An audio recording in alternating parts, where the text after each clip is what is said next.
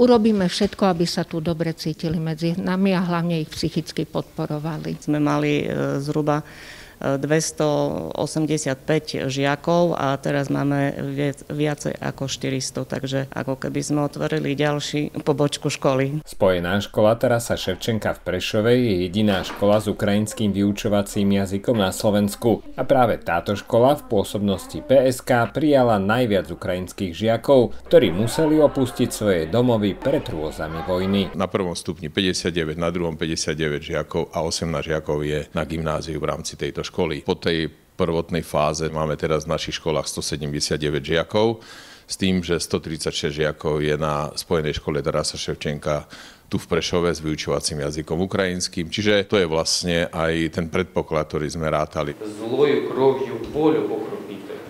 І мене в сім'ї великій, в сім'ї волі новій. Adaptovať sa v škole, ale aj mimo nej pomáhajú novým spolužiakom okrem slovenských detí aj tie ukrajinské, ktoré navštevujú spojenú školu v Prešove už dlhší čas. Aj oni im pomáhajú e, s tou bariérou rečovou. Tie menšie deti sa skôr adaptujú, začnú rozprávať, e, lebo sú vlastne s jednou e, učiteľkou. Ako som ich integrovala? My už tú skúsenosť máme, lebo žiaci k nám prichádzajú tým, že sme ukrajinská škola, tak prichádzali už k nám aj roky predtým, takže nejaká skúsenosť už e, je s tou integráciou. V tejto trede som e, na tejto škole len prvý rok, tak povediac, ale celkovo na Slovensku som už e, tretí rok. Preto sme ich tak prijali pekne, aby sa cítili lepšie, lebo zažili toho veľa, aby sa ešte nestresovali zbytočne tu. Тут добрі люди, так мене, мене прийняли.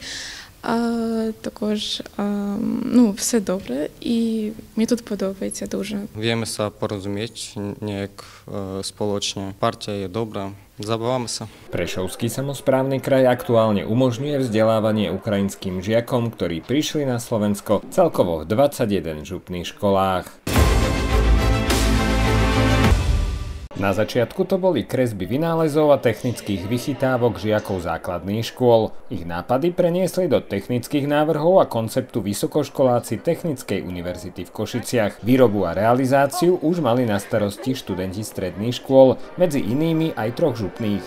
Výsledkom tejto kooperácie sú zaujímavé novinky, ktoré môžu nájsť v budúcnosti svoje využitie stolovací tank, ktorý môže chodiť po čiare, po stole a svojim elektromagnetom a ramenom vlastne berie ten príbor z vlečky, posunie sa na jednu stranu, položí ho, ide ďalej, posunie, zase si ho vezme, posunie sa na druhú stranu a tam ho položí. Dokáže to viac, ako sme si aj predstavovali. Mení to aj farbu, dokáže zdvihnúť aj ten príbor. Museli sme vytvoriť niečo praktické, niečo hmatateľné, niečo, čo by fungovalo. Nie je to iba nejaká teória, niečo abstraktné, ale museli sme vytvoriť reálny produkt. Štyri takéto diela boli predstavené počas podujatia My Machine Slovakia Expo Prešov pri príležitosti Svetového dňa kreativity a inovácií, a to v priestoroch Spojenej školy Ľudmily Podjavorinskej v Prešove. V čom vidíme jeho prínos je hlavne to, že rozvíja u mladých ľudí zručnosti, ktoré budú pre nich dôležité v budúcom pracovnom živote. A to je hlavne teda tvorivosť, schopnosť prichádzať naozaj s originálnymi, neotrepanými nápadmi, ako niečo vyriešiť. Každý jeden nápad je prakticky a technicky realizovateľný aj do budúcna. Čiže ono to má nejaké také to základné rácio a má to nejaké to základné také praktické využitie. Čiže ani jeden nápad nie je nejaký taký, že brutálne futuristický. Každý jeden projekt podľa mňa tým žiakom naozaj prinesie, prinesie rozvoj tých komunikačných zručností, schopnosť alebo zvýši schopnosť rozumieť tomu druhému a toto je veľmi, veľmi dôležité vedieť uplatňovať práve v pracovnom živote. Predstavme si ešte jeden produkt, pri ktorom sa stretli autory myšlienky a stredoškoláci, ktorí ho pretavili do reálnej podoby a tým je krmič mačiatok, zaujímavý mechanický dávkovač krmiva. Keď doplňujeme krmivo do zasobníka hlavy mačky, tak mňauči. Po tobogáne sa spúšťa do lapáčov a tak potom si, autom, si akože my si púšťame do myštíček. Je veľmi krásny a nemám slov. Pekný je strašne. Predstavené boli aj ďalšie dva zrealizované prototypy. Akustický domček, odhlučnený ihlan, ktorom sa dieťa môže skryť pred množstvom podnetov a opona, stan na hru so svetlom a množstvom hádaniek.